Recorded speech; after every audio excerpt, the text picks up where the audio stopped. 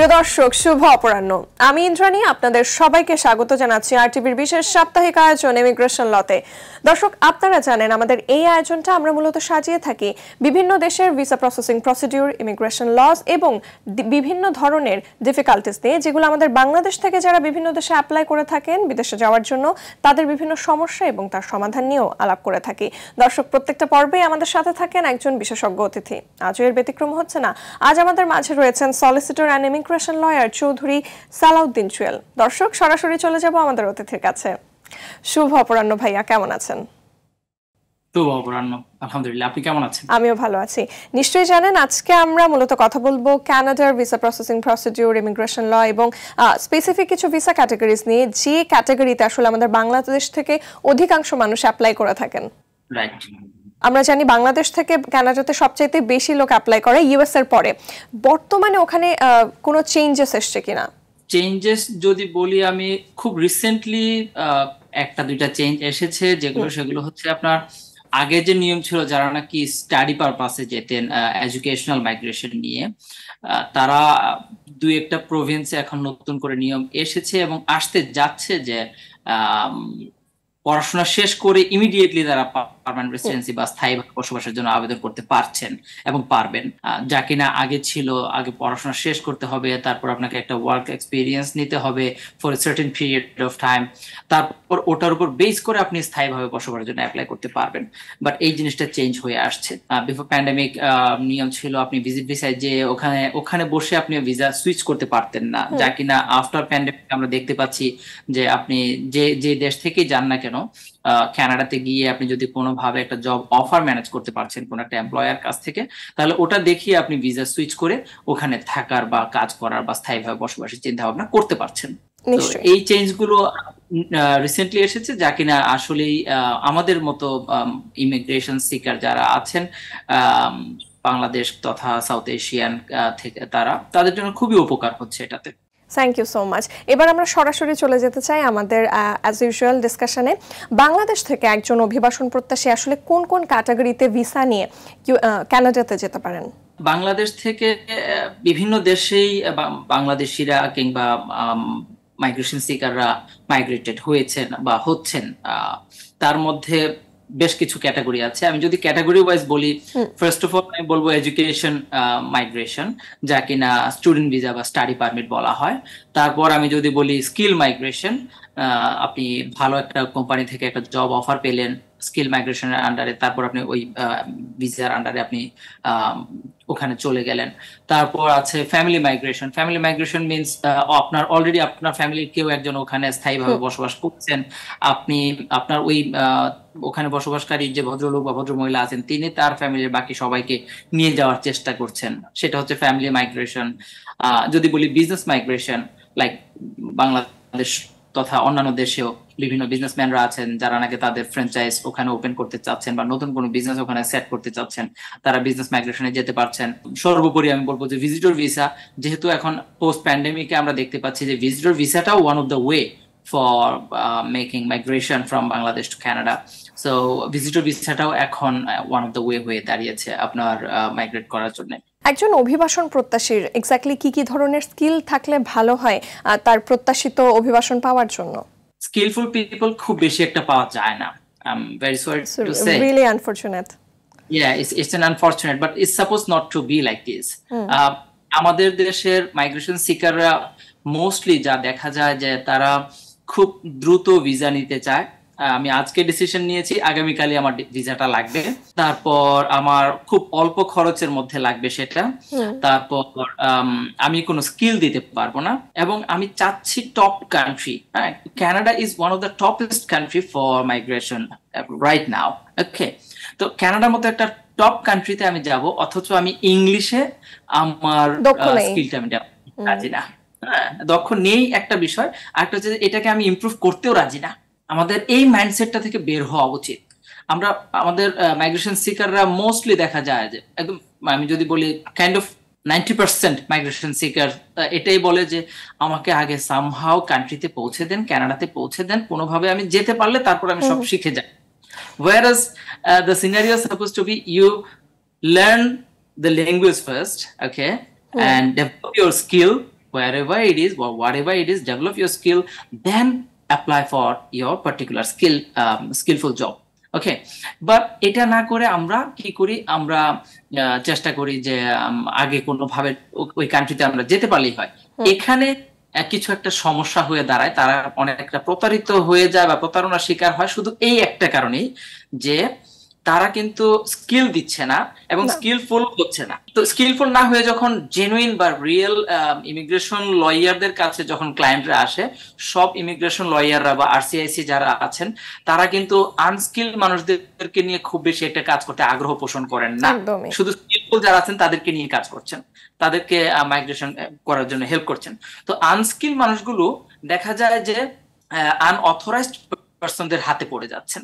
এবং ওই আনঅথরাইজড পার্সনগুলো যা করছেন যে সুযোগ পেয়ে তাদের কাছ থেকে প্রয়োজনের ভেতরে বা প্রয়োজনের বাহিরে মানে অনেক বেশি পরিমাণে টাকা নিয়ে যাচ্ছেন এবং তাদের ক্ষয়ক্ষতি করে দিচ্ছেন। এটা মানে আমি আমি স্ট্রংলি সাজেস্ট করব migration সিকারদেরকে take time at least six months one year maybe even if it takes two years take time develop your skill then start your procedure অবশ্যই সেটাই বোধহয় হওয়া উচিত। এই প্রসঙ্গে কয়েকটা কথা না বললেই নয় ভাইয়া কারণ আমরা সোশ্যাল মিডিয়াতে অনেক সময় দেখি যে আইএলস ছাড়া বিদেশে যাওয়ার সুযোগ কানাডা ইউএসএ ইউকে কোনো ধরনের স্কিল্ড সার্টিফিকেট ছাড়া মানে একজন মানুষ যে স্কিল্ড আমি যে বিশেষ বিশেষ কাজে দক্ষ এইটা প্রমাণ করার জন্য তো আসলে দেশের বাইরে অ্যাপ্লাই করতে গেলে ডকুমেন্টেশনের বিকল্প একদমই নেই। অনেকে ক্লেম করেন অনেক এজেন্সি ক্লেম করে যে সেটা ছাড়াও আমরা পৌঁছে দিচ্ছি। কোনো মানুষ যদি এইভাবে আসলে প্রতারিত হন সেখানে বাংলাদেশ থেকে কোনো লিগাল হেল্প দেওয়ার কি সুযোগ রয়েছে? আনফরচুনেটলি না। বিকজ বাংলাদেশ থেকে আপনি নিজে জেনে শুনে বুঝে আপনি নিজেই যে প্রপোজ করছেন ওই থার্ড পার্টিকে যে আমাকে আপনি সামহাউ ভিসাটা করে দিন আমাকে সামহাউ যাওয়ার অপরচুনিটিটা করে দিন হ্যাঁ? তারপর আমারটা আমি দেখে নেব। তো আপনি যখন নিজে সেধে এটা করছেন সেখানে আপনি এর বিরুদ্ধে অ্যাকশন নেওয়ার মতো অপরচুনিটি আছে বলে আমার মনে হয় না। আর লিগালি যদি আমি বলি আপনি যখন স্ট্যাটিটরি লয়ের আন্ডারে চলে যাবেন ক্যানাডার অপরাধের জন্য আপনি বাংলাদেশে পানিশমেন্ট পাবেন না বা পানিশমেন্ট দিতে পারবেন না। আবার বাংলাদেশে ঘটে যাওয়াটাকে যদি আপনি প্রতারণার সামিল বানিয়ে নিতে পারেন মানে এটা যদি প্রুফ করে ফেলতে পারেন যে you been cheated by someone then you might go to the court for remedy. এবার একটু আমরা স্টুডেন্ট ভিসা নিয়ে আলাপ করতে চাই কারণ বাংলাদেশ থেকে যারা কানাডাতে যান কিংবা যেতে চান এর অধিকাংশ আমি যদি সেভেন্টি পার্সেন্ট বলি বোধহয় ভুল হবে না অধিক সংখ্যক মানুষই আসলে শিক্ষার্থী। তো অনেকে একা পড়তে চান কারও প্রশ্ন থাকে যে পরিবারের সাথে যাওয়া যাবে কিনা তো সেক্ষেত্রে আপনার সাজেশন কি? পরিবার নিয়ে যাওয়ার যে বিষয়টা পরিবার বলতে আমরা আমাদের এশিয়ান কালচারে আমরা যা বুঝি মা বাবা ভাই বোন। স্বামী স্ত্রী সন্তান নিয়ে। বা আনফর্চুনেটলি ফার্স্ট ওয়ার্ল্ড কান্ট্রিগুলোতে ওয়েস্টার্ন কান্ট্রিগুলোতে ওরা ফ্যামিলি বা পরিবার বলতে যা বোঝায় সেটা হচ্ছে আপনি আপনার স্পাউস এবং আপনার চিলড্রেন তো আপনার স্পাউসকে নিয়ে যদি যেতে চান অবশ্যই আমি এটাকে সাপোর্ট করি।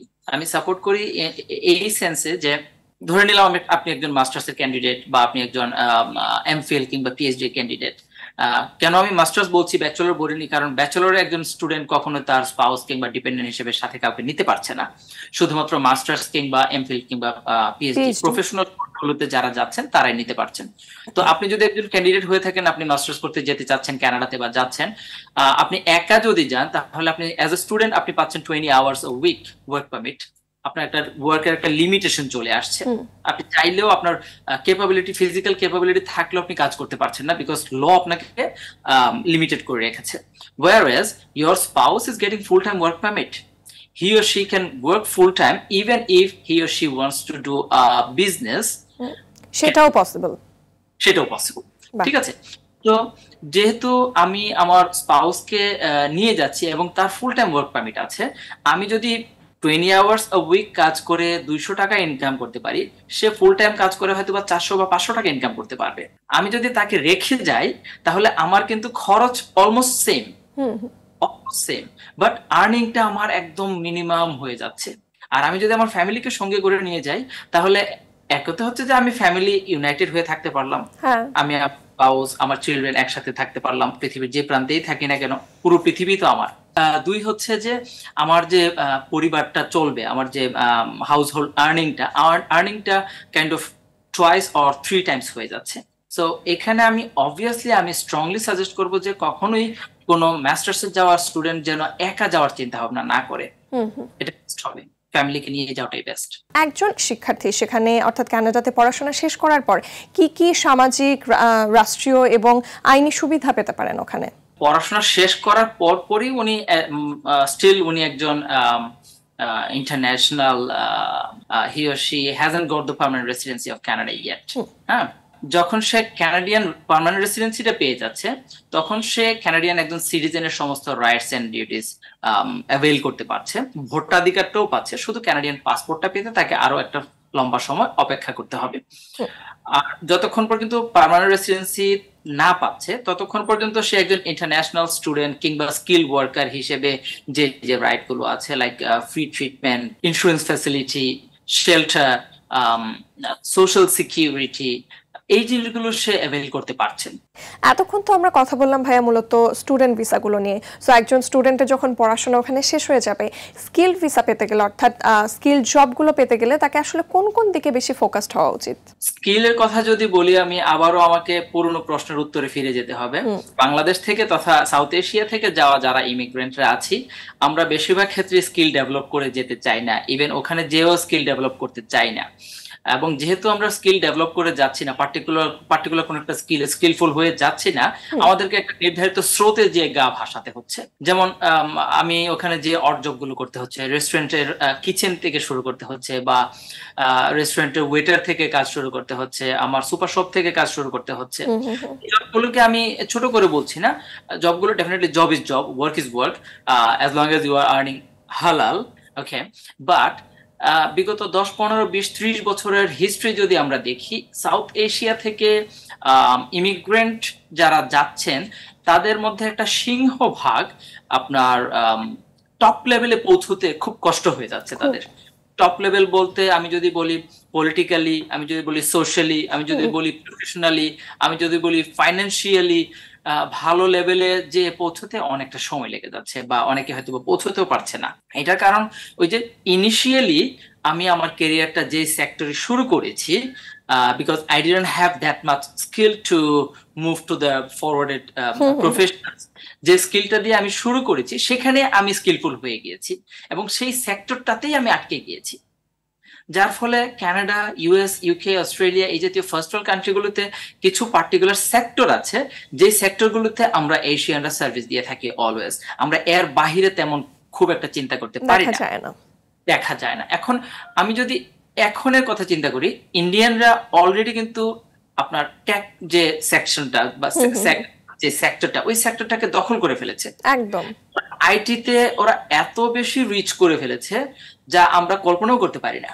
আপনি আইটির পাশাপাশি আপনি যদি দেখেন ইনভেস্টমেন্ট যে বিষয়গুলো আছে, বড় বড় বিজনেস গুলোতে সেখানেও দেখুন ইন্ডিয়ানরা খুব ভালো অবস্থানে চলে গেছে। আমরা এবং পাকিস্তানিরা বা শ্রীলঙ্কানরা, আমরা, শ্রীলঙ্কানরাও ভালো। শ্রীলঙ্কানরা ইংলিশে অনেক এক্সপার্ট থাকে, তারা তাদের ইংলিশ খুবই ক্লিয়ার থাকে এবং তারা স্কিলফুল হয়েই যায়। বাট আমরা হতে পারি না। আমাদের আসলে হওয়া উচিত এখান থেকেই যেমন আমি স্কিলফুল হতে পারতাম আইটির উপর ভালো একটা দক্ষতা নিতে পারতাম সাইবার সিকিউরিটির উপর ভালো একটা দক্ষতা নিতে পারতাম। আমি গ্রাফিক ডিজাইন এটার যে এখন কি পরিমাণে ভ্যালিউ যাচ্ছে? আউটসোর্সিং এর ক্ষেত্রে কিন্তু খুবই ইম্পর্টেন্ট একটা হ্যাঁ নিতে পারতাম। আমি ওয়েব ডেভেলপমেন্টের দিকে আমি নিতে পারতাম। সাইবার সিকিউরিটি নিয়ে আমি স্কিলফুল হতে পারতাম।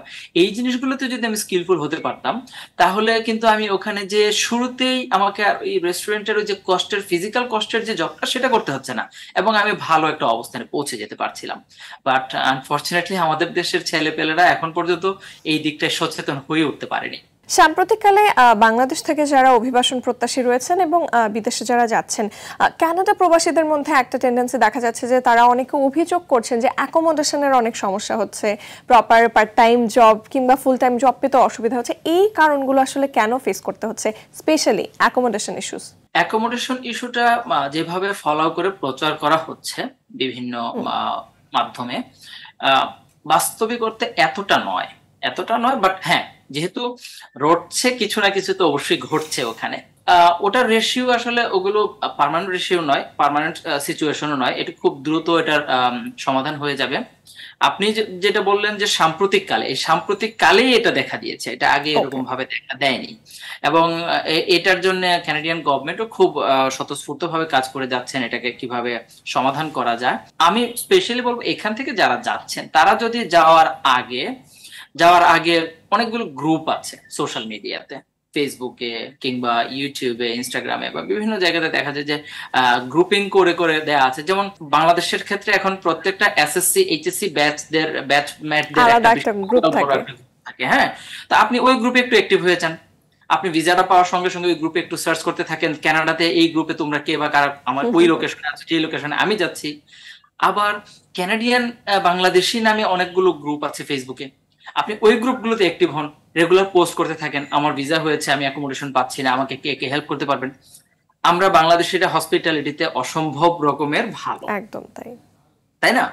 তো ওখানে যারা আছে যারা ওখানে যে অ্যাকোমোডেশনের বিপদে পড়ে যাচ্ছে তাদেরকে আমি বলব আপনি এই বিপদটাতে পড়ছেন বিকজ আপনার কমিউনিকেশন লেভেলটা এখনও এতটা রিচ হয়নি। হ্যাঁ এতটা রিচ হয়নি যে আপনি সাপোর্টটা একজন আননোন পার্সনের কাছ থেকে নিয়ে নিতে পারেন। ঠিক আছে? আপনি যতক্ষণ পর্যন্ত আননোন পার্সনটাকে অ্যাপ্রোচ না করবেন ততক্ষণ পর্যন্ত ওই পার্সনটা আপনার সাথে নোন হচ্ছে না। সে আননোনে থেকে যাচ্ছে। আর একটা আননোন পার্সন কখনো আপনাকে অ্যাপ্রোচ করে হেল্প করতে আসবে না। If you need help you have to seek it and if you don't have any known person over there, you have to get known to the unknown people and seek for your help. Okay তো accommodation নিয়ে যে ঝামেলাটা হচ্ছে সেটা থেকে পরিত্রাণের অন্যতম কারণ আমি মনে করি কমিউনিকেশন লেভেল আপনি যত দ্রুত কমিউনিকেশন লেভেলটা হাই করতে পারবেন রিচ করতে পারবেন এবং আননোন মানুষদের সঙ্গে খুব দ্রুত কমিউনিকেট করতে পারবেন তত দ্রুত এটা সমাধান পেয়ে যাবেন আপনি আমরা প্রিভিয়াস আলাপে যেটা জানতে পেরেছি যে বাংলাদেশ থেকে যারা কানাডাতে যেতে চান তাদের মধ্যে আসলে স্কিল ভিসা নিয়ে যাওয়ার অর্থাৎ নিজেকে স্কিলড করে তারপরে সেখানে অ্যাপ্লাই করার প্রবণতাটা অনেক কম। রাদার দেন তারা হচ্ছে ছাত্রছাত্রী হিসেবেই আসলে ওখানে যেতে বেশি কমফোর্টেবল এইটা কেন? আসলে কেন সবাই স্টুডেন্ট ভিসাতে যেতে চায়? স্টুডেন্ট ভিসাতে যেতে চায় এই জন্য যে স্টুডেন্ট ভিসাটা খুব ইজিলি অ্যাচিভ করা যায় অ্যাভেল করা যায়। এবং এখানে আমি যদি ফাইন্যান্সিয়াল বিষয়টা ধরি তারা মনে করেন যে এটা খুব সহজ বিকজ একটা স্কিল জব অ্যাভেল করা খুবই ডিফিকাল্ট খুবই ডিফিকাল্ট আপনার ক্যানাডিয়ান এমপ্লয়ার যারা আছেন তাদের যাদের নাকি work permit international worker recruit করা পারমিশন আছে। তাদেরকে অনেকগুলো প্রসিজারের মাধ্যমে যেতে হয়। যার ফলে দেখা যায় যে আপনার দশটা পজিশনের জন্য তাদের কাছে একশোটা ক্যান্ডিডেট থাকে এক হাজার ক্যান্ডিডেট থাকে।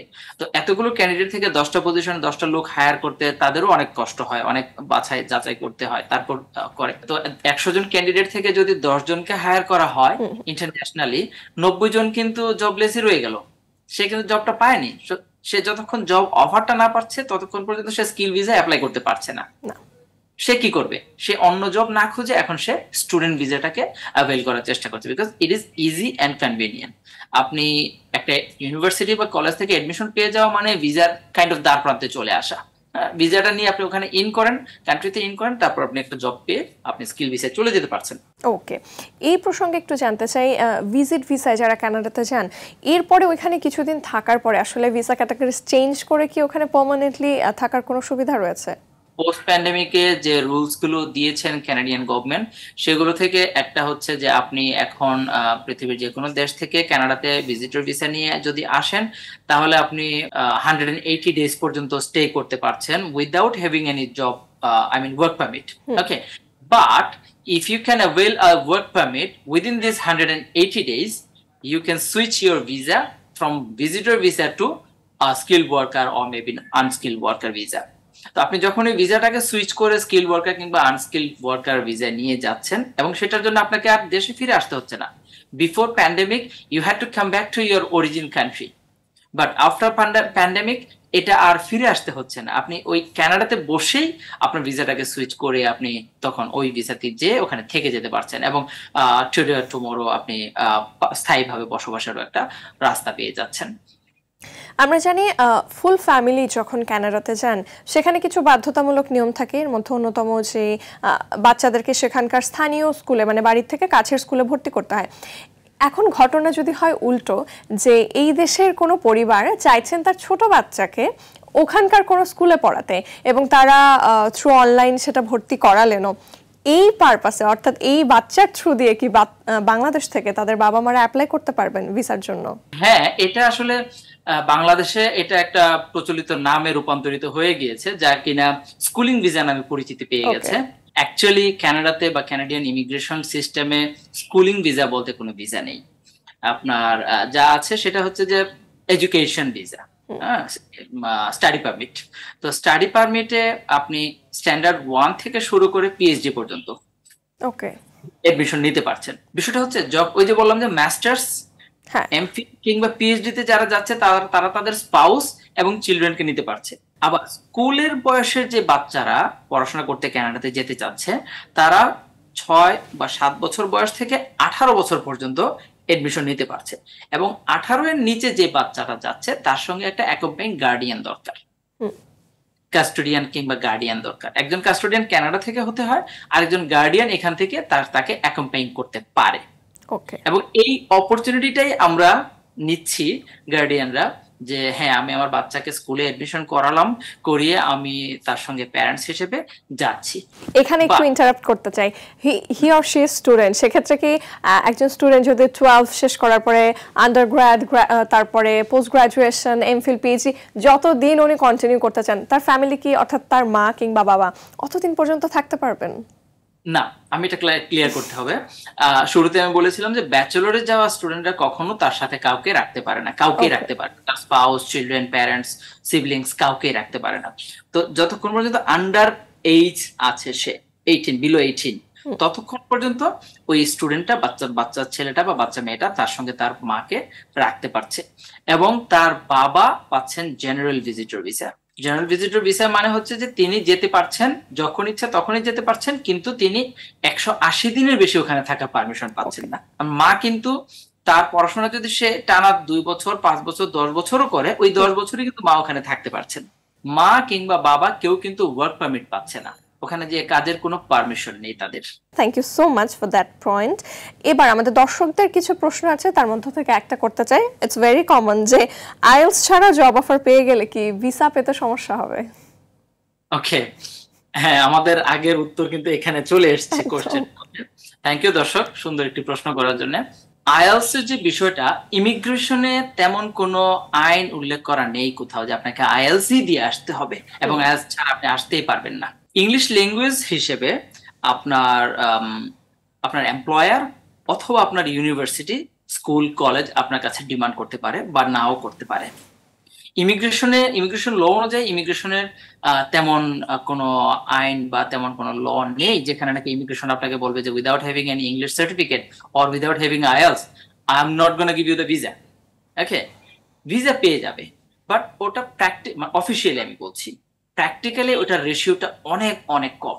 আপনি আইএলস ছাড়া জব অফারটা যদি অ্যাভেল করেও ফেলেন, ওই যে আমি বলেছিলাম যে জব অফারটা মূলত পারচেস করা হচ্ছে হ্যাঁ? তো জব অফারটা যদি আপনি সামহাউ অ্যাভেল করেও ফেলেন, আপনি যখন ভিসার জন্য অ্যাপ্লাই করছেন officially if though there is no restriction for you to apply without any English language but practically the percentage of success is very very low আমাদের আরও একটা প্রশ্ন রয়েছে দর্শকদের কাছ থেকে যে বয়স অনেক বেশি হয়ে গেলে কানাডায় জবের জন্য কতটা আমি চেষ্টা করতে পারব? এবং সেক্ষেত্রে জানতে চাই যে বয়সের লিমিটেশনটা আসলে কত? বয়স অনেক বেড়ে গেলে বলতে আমি যদি মনে করি যে আমার বয়স থার্টি ক্রস করেছে বাট এখনও ফোর্টি ক্রস করেনি আমি এখনও যথেষ্ট সক্রিয় এবং প্রত্যেকটা কোম্পানি আইদার ফিজিক্যাল জবের জন্য হোক আর ইন্টেলেকচুয়াল জবের জন্য হোক প্রত্যেকটা কোম্পানি আমাকে অ্যাপ্রিসিয়েট করবে because I am totally skillful এখন। হ্যাঁ আপনার অনেক দিনের অভিজ্ঞতা আমার হয়ে আছে। তো thirty between thirty to forty আমি বলব যে এটা খুব বেশি একটা বয়স নয়। আবার টোয়েন্টি টু থার্টি যেটা, সেটা একদম উদীয়মান বয়স। এটাকেও কানাডা অ্যাপ্রিসিয়েট করে থাকে। যখনই আমাদের বয়সটা ফোরটি টু ফিফটি হয়ে যাচ্ছে, আস্তে আস্তে কিছুটা হ্রাস পেতে থাকে আমাদের চাহিদাটা। আবার যখন আমরা আমাদের বয়সটা ফিফটি ক্রস করে ফেলে, তখন অনেক অনেকাংশে এই চাহিদাটা হ্রাস পেয়ে যায়। এমপ্লয়াররা আমাদেরকে নিতে চায় না।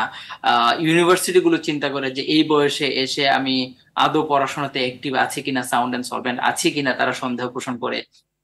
আবার ইমিগ্রেশনও চিন্তা করে যে লোকটার বয়স ফিফটি প্লাস তার নিশ্চয়ই তার স্পাউস আছে চিলড্রেন আছে চিলড্রেনদেরকে নিয়ে এসে যাওয়ার চিন্তা ভাবনা করছে।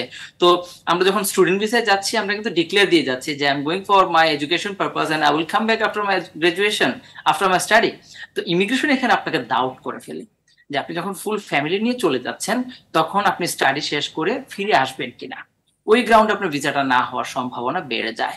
সো বয়সের বিষয়টা আমি বলব যে up to forty up to forty absolutely okay you are very okay to apply but when you are crossing forty and you are in between forty and fifty কিছুটা চিন্তা ভাবনা করে পদক্ষেপ নেওয়া উচিত when you are fifty plus then don't make a direct application by yourself. Rather, use your children for other ways. Thank you এই পর্যায়ে একটু জানতে চাই আসলে কানাডাতে যদি কেউ পিআর পেতে চান এবং সেটা নিয়ে যদি ফর গুড ওখানেই থেকে যেতে চান সেক্ষেত্রে কোন ক্যাটাগরিতে অ্যাপ্লাই করাটা বেশি সমীচীন হবে বলে মনে হয়? পিআর বা পার্মানেন্ট রেসিডেন্সি কিংবা স্থায়ীভাবে বসবাসের যে ভিসাগুলো বা ক্যাটাগরিগুলো সেগুলোতে যেতে হলে আপনাকে অবশ্যই পয়েন্ট অ্যাকোমোলেট করেই যেতে হবে। লাইক আপনি স্টাডিতে একটা পয়েন্ট পাচ্ছেন ক্যানাডিয়ান ওয়ার্ক এক্সপিরিয়েন্সে একটা পয়েন্ট পাচ্ছেন আপনি। আপনি ওভারসিজ ওয়ার্ক এক্সপিরিয়েন্সে একটা পয়েন্ট পাচ্ছেন। আপনার যদি ক্যানাডিয়ান কোনো রিলেটিভ থাকে যে কিনা সিটিজেন ক্যানাডার সেখানে একটা পয়েন্ট পাচ্ছেন। আপনার ইংলিশ ল্যাঙ্গুয়েজের উপর এটা সেটা হতে পারে আয়ালস হতে পারে PT TOEFL whatever it is তো ইংলিশ প্রফিসিয়েন্সি যদি আপনি ঠিক থাকেন আপনার বয়স যদি পয়েন্ট পাওয়ার মতো অবস্থানে থেকে থাকে সব মিলিয়ে আপনি যে পয়েন্টগুলো পাবেন, সেগুলোর উপর বেসিস করে আপনি এক্সপ্রেস এন্ট্রিতে অ্যাপ্লাই করতে পারছেন পিএনপি তে অ্যাপ্লাই করতে পারছেন। পিএনপির আন্ডারে আমি বলব, এখানে তো পিএল পিএনপি মানে হচ্ছে আপনার প্রভিন্সিয়াল নমিনি প্রোগ্রাম বিভিন্ন প্রভিন্সের বিভিন্ন ল আছে। সাসকাচুয়ানের একটা অন্টারিওর একটা বিসির একটা। এইভাবে প্রত্যেকটা প্রভিন্সের আলাদা আলাদা করে ইমিগ্রেশন ল আছে। ওই আপনি যে এরিয়াতে আছেন বা থাকছেন পড়াশোনা করছেন বা ওয়ার্ক এক্সপিরিয়েন্স গ্যাদার করছেন সেই এরিয়ার ল অনুযায়ী আপনি অ্যাপ্লাই করে তারপর স্থায়ীভাবে বসবাসের চিন্তা ভাবনা করতে পারছেন। কানাডাতে ভিসা অ্যাপ্লিকেশনগুলো মাঝে মধ্যেই মাঝে মধ্যে না নাওয়েডেজ এটা সংখ্যা বোধহয় বেড়ে গেছে যে খুব রিজেকশনের আওতায় পড়ছে। একজন অ্যাপ্লিকেন্টের ভিসা অ্যাপ্লিকেশন রিজেক্ট হওয়ার মূল কারণগুলো কি কি? ভিসা অ্যাপ্লিকেশন রিজেকশনের পেছনে মূল কারণ তো হয়ে থাকে ডকুমেন্টস বিকজ ক্যানাডার ভিসা ডিসিশনটা এখন এআই দ্বারা হচ্ছে এবং আপনি যত ভালোভাবে ডকুমেন্টসগুলো সাবমিট করতে পারছেন আপনার ক্রাইটেরিয়া গুলো ফুলফিল করে তত ভালো ভিসা হওয়ার সম্ভাবনা আছে।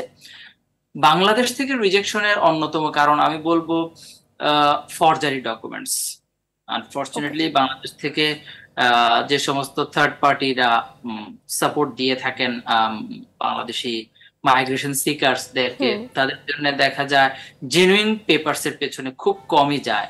আপনার ফাইন্যান্সিয়াল যে ডকুমেন্টসগুলো এগুলো দেখা যায় যে তারা বানিয়ে নিয়ে আসে অন্য আরেকজন একটা প্রিন্ট করে নিয়ে আসে সাবমিট করে দেয়। তারপর আপনার ইংলিশ সার্টিফিকেটেও দেখা যায় কিছু না কিছু যায় ঝামেলা থেকেই যায়। এখানে আপনাকে চার পাঁচটা বিষয় খুব স্ট্রংলি মেনটেন করতে হবে। একটা হচ্ছে আপনার এডুকেশন দুইটা হচ্ছে আপনার ল্যাঙ্গুয়েজ কেপাবিলিটি তিন নাম্বার হচ্ছে আপনার ফাইন্যান্সিয়াল কেপাবিলিটি চার নাম্বার হচ্ছে source of that financial capability মানে আপনি যে ফাইন্যান্সিয়ালি সাউন্ড অ্যান্ড সলভেন্ট এই টাকাটা কোথা থেকে পেয়েছেন? এটা খুব ভালোভাবে আপনাকে ইয়ে করতে উপস্থাপন করতে হবে ডকুমেন্টারিলি বিকজ আপনার কোনো ইন্টারভিউ কোনো অপরচুনিটি নেই। ফিফথ আমি বলব স্টেটমেন্ট অফ পারপাস আপনি যে একটা স্টেটমেন্ট অফ পারপাস বা স্টাডি প্ল্যান দিচ্ছেন আপনার একটা ফিউচার প্ল্যান দিচ্ছেন যে আপনি অ্যাকচুয়ালি কেন ভিসার জন্য অ্যাপ্লাই করছেন এবং এটা এই ভিসাটা পাওয়ার পর আপনি কি হতে চাচ্ছেন আপনার ফিউচার প্ল্যানটা কি আপনি আপনাকে আপনি দুই বছর পর পাঁচ বছর পর কোথায় দেখতে চাচ্ছেন? হ্যাঁ এবং কোথায় দেখতে চানটা বলতে এই না যে আমি কানাডার সিটিজেন হয়ে যেতে চাচ্ছি এটা না এটা you can not say like this okay তো আপনি যেটা করতে হবে সেটা হচ্ছে যে আপনাকে বোঝাতে হবে যে আমি বাংলাদেশে এই একটা অবস্থানে পৌঁছতে চাই এবং আমি মনে করি যে তোমার দেশ থেকে পড়াশোনাটা করে আসলে বা তোমার দেশ থেকে এক দুই বছরের ওয়ার্ক এক্সপিরিয়েন্স নিয়ে দেশে ফিরে আসলে আমি আমার দেশের এই কমিউনিটিকে বা এই সেক্টরটাকে আমি ডেভেলপ করতে পারব। এই বিষয়টা আপনার স্টাডি প্ল্যানে ফলো করে উল্লেখ করতে হবে। তখনই আপনি ভিসা পাওয়ার চান্সটা বেড়ে যাবে। আদারওয়াইজ আপনার ভিসা রিজেকশন পসিবিলিটি অনেক বেশি। এই প্রসঙ্গে ভাই আরও একটা প্রশ্ন আসবে, কারণ বর্তমানে যদি বাংলাদেশের প্রেক্ষাপটে বলি যে আসলে কানাডায় যাওয়ার জন্য অনেক ধরনের প্রতিষ্ঠান রয়েছে, অনেকে নিজেদেরকে ভিসা এজেন্ট বলে দাবিও করছেন এবং তারা যেসব ডকুমেন্টের কথা বললেন, অনেক অসাধু প্রতিষ্ঠান রয়েছে যারা কিনা ভুয়া ডকুমেন্ট শো করে তাদেরকে আসলে বিদেশে পাঠানোর একটা পায়তারা করেন এবং রিসেন্টলি অনেকে ধরাও পড়েছেন। এইটা আসলে মানে বাংলাদেশের ইমেজের জন্য কিংবা বাংলাদেশিদের জন্য কতটা ক্ষতিকর হচ্ছে? অসম্ভব রকমের আত্মঘাতী কাজ এটা। আত্মঘাতী কাজ আমি এই জন্য বলব বিগত দশ বছর পনেরো বছর আগের হিস্ট্রি যদি দেখি আমাদের বাংলাদেশ থেকে success ratio success ratio was more than fifty percent more than eighty percent যা কিনা এখন twenty percent thirty percent twenty five পার্সেন্টে নেমে এসেছে success ratio visit visa almost eighty percent লোকজন নাইনটি পার্সেন্ট লোকজন পেতেন। এখন থার্টি পার্সেন্ট ফোর্টি পার্সেন্টও পায় না। এটার কারণ কি? কারণ হচ্ছে আমরা ভিসাটা পাওয়ার আগে একভাবে ডকুমেন্টটা সাবমিট করে থাকি একভাবে নিজেকে উপস্থাপন করে থাকি ওখানে যে আমরা নিজেকে আবার অন্যভাবে উপস্থাপন করে ফেলি। যেমন এখান থেকে যাওয়ার সময় আমি আমার ডকুমেন্ট দেখিয়ে বলি I'm a rich person I have so much wealth and asset and financial capability and blah blah blah but ওখানে যাওয়ার পর ইমিডিয়েটলি আমরা কি করি? অ্যাজাইলাম সিক করে ফেলি। অ্যাজাইলাম করে ফেলি ভিসাটাকে আমরা অপব্যবহার করে ফেলছি। সবাইকে বলছি না বাট বেশিরভাগই মিথ্যা বলে ফাইলগুলো সাবমিট করা হয়। তো ইমিগ্রেশন রেকর্ডে তো এগুলো থেকে যায়। এই রেকর্ডগুলোর উপর বেসিস করেই কিন্তু পরবর্তী পাঁচ বছরের জন্য তারা আমাদের টার্গেট করে থাকেন যে হ্যাঁ যেহেতু বাংলাদেশ থেকে আসা বেশিরভাগ মানুষই আসার সময় ফলস ডিক্লারেশন দিয়ে আসছে এবং এসে আবার অন্যরকম একটা ডিক্লারেশন দিচ্ছে, তাহলে তাদেরকে আমরা এত বেশি আগের মতো ভিসা দিতে পারব না। তো এখানে হচ্ছে কি, আমি কিন্তু পার হয়ে যাচ্ছি বাট আমার পরে যে আসছে, আমার পরে যে লোকটা নাকি ইমিগ্রেশন সিক করবে মাইগ্রেশন সিক করবে, তার দরজাটা কিন্তু আমি বন্ধ করে দিচ্ছি। থ্যাংক ইউ এবার আমরা দর্শকদের আরও একটা প্রশ্ন নেব। আমার পুকুরে মাছ চাষ করার অভিজ্ঞতা রয়েছে। ফিশ ফার্মিং ক্যাটাগরিতে কি অ্যাপ্লাই করা যাবে? যদি এক্সপেরিয়েন্স সার্টিফিকেট চাই, তাহলে কীভাবে দেব? আচ্ছা পুকুরে চাষ যদি আমি বলি, সেটা হচ্ছে ডি ক্যাটাগরিতে চলে যাবে। আর ডি ক্যাটাগরির ভিসাগুলো বাংলাদেশ থেকে আসলে D category visa success ratio আমি বলব less than five percent D ক্যাটাগরির জব অফার পাওয়াটা খুব ইজি এম্বাসিতে পৌঁছে দেওয়াটা খুব ইজি এবং ভিসা রিফিউজ হয়ে আসবে, এটা আপনি কাইন্ড অফ ধরেই রাখতে পারেন যে ভিসা রিফিউজ হবে। আর যদি হয়েও আসে সেটা হয় কি E visa electronic visa electronic visa দিয়ে বাংলাদেশি সিটিজেনরা কখনোই কোনোভাবে কোনো ধরনের ইমিগ্রেশন পার করে কানাডায় এন্টার করতে পারবে না। সুতরাং আপনি কোনো দেশ থেকে এই ই ভিসা নিয়ে আপনি বোর্ডিং পাবেন না ইমিগ্রেশন পাবেন না। বা এই অসাধু যারা আছেন বাংলাদেশে থার্ড পার্টিরা তারা কখনোই ক্যান্ডিডেটদেরকে এটা আগে বলেন না। তারা একটা চুক্তি করেন ভিসার আগে টাকা নেব না ভিসার পরে টাকা নেব। হ্যাঁ? তো ভিসার পরে ভিসা মানে তো ইলেকট্রনিক ভিসা। ভিসাটা হয়ে আপনাকে বলে দিচ্ছে আপনি সিস্টেমে যে চেক করেন সিস্টেমে যে আপনি ভিসা পেয়ে যাচ্ছেন। হ্যাঁ। আচ্ছা তাহলে এখন ভিসা সিস্টেমে পাওয়া যাচ্ছে visa has been issued give me the money আপনি টাকা দিচ্ছেন। টাকা দিয়ে আপনি যখন ফ্লাই করতে যাচ্ছেন তখন আপনি বুঝতে পারছেন যে আপনি প্রতারণার শিকার হয়েছেন। এটা আমি রিকোয়েস্ট করব specially for Canada please please please সবাইকে রিকোয়েস্ট করব যে ডি ক্যাটাগরিটাকে অ্যাভয়েড করুন। Category O category A category B এই তিনটা ক্যাটাগরির কোনো একটা ক্যাটাগরিতে যদি আপনি আপনার প্রোফাইলটাকে ম্যাচ করতে পারেন, তবেই আপনি অ্যাপ্লিকেশন নিয়ে প্রসিড করুন। আদারওয়াইজ না। থ্যাংক ইউ সো মাচ ভাইয়া। অনেক ইম্পর্টেন্ট জিনিসগুলো আসলে সুখ্যাতি সূক্ষ্মভাবে আপনি আমাদেরকে এক্সপ্লেন করে জানালেন। নিশ্চয়ই আমাদের দর্শক যারা আছেন ভীষণভাবে উপকৃত হবেন। ওভারঅল দেখতে দেখতে আমাদের আয়োজনের একেবারে শেষ পর্যায়ে চলে এসেছে। একদম শেষ ভাগে আপনার কাছে একটু জানতে চাই যে আপনি মানে একজন ইমিগ্রেশন লয়ার হিসেবে আমাদের বাংলাদেশিদের জন্য কি পরামর্শ দিতে চান? ছোট করে যদি বলেন। একটা পরামর্শ সবার জন্য থাকে এবং আজকেও আপনাদের মাধ্যমে যদি আমি অ্যাটলিস্ট দুই চার পাঁচজন মানুষের কাছেও পৌঁছে দিতে পারি আমি নিজেকে ধন্য মনে করব। যে কান্ট্রিতেই যেতে চান না কেন হোক সেটা কানাডা হোক সেটা অস্ট্রেলিয়া হোক কিংবা আমেরিকা বা ইউকে যেখানেই হোক না কেন যাওয়ার আগে কিছুটা সময় নিন। এটা দুই মাসও হতে পারে দুই বছরও হতে পারে। আপনি আপনাকে একটা পার্টিকুলার সেক্টরে দক্ষ হিসেবে তৈরি করুন। এবং ওই সেক্টরটার উপরই আপনি লেগে থাকুন। আপনি ওই সেক্টরটাকে ইউটিলাইজ করেই আপনি আপনার স্বপ্নের দেশে পৌঁছাতে পারবেন, আপনার স্বপ্নের কেরিয়ারে পৌঁছাতে পারবেন। সবসময় কেরিয়ার ফোকাসড হন কান্ট্রি ফোকাস না হয়ে। আপনি একটা আইডেন্টিটি তৈরি করুন প্রফেশনাল আইডেন্টিটি আমি নাম এই এবং প্রফেশনালি আমি এই একজন মানুষ। তাহলে দেখবেন পুরো পৃথিবী আপনার। আপনাকে কান্ট্রি পেছনে ছুটতে হবে না। অনেক অনেক ধন্যবাদ ভাইয়া। আমরা আয়োজনের একেবারে শেষ পর্যায়ে চলে এসেছি। আপনাকে অনেক ধন্যবাদ। আপনার মূল্যবান সময় থেকে কিছুটা আমাদেরকে দেওয়ার জন্য এবং আমাদের সাথে থাকার জন্য। অসংখ্য ধন্যবাদ আপনাদের সবাইকে। অসংখ্য ধন্যবাদ। প্রিয় দর্শক এতক্ষণ ধরে উপভোগ করলেন ইমিগ্রেশন ল আগামী পর্ব দেখার আমন্ত্রণ জানিয়ে আজকের মতো আমি বিদায় নিচ্ছি। সে পর্যন্ত সবাই ভালো থাকুন সুস্থ থাকুন সুন্দর থাকুন। আর টিভির সাথেই থাকুন।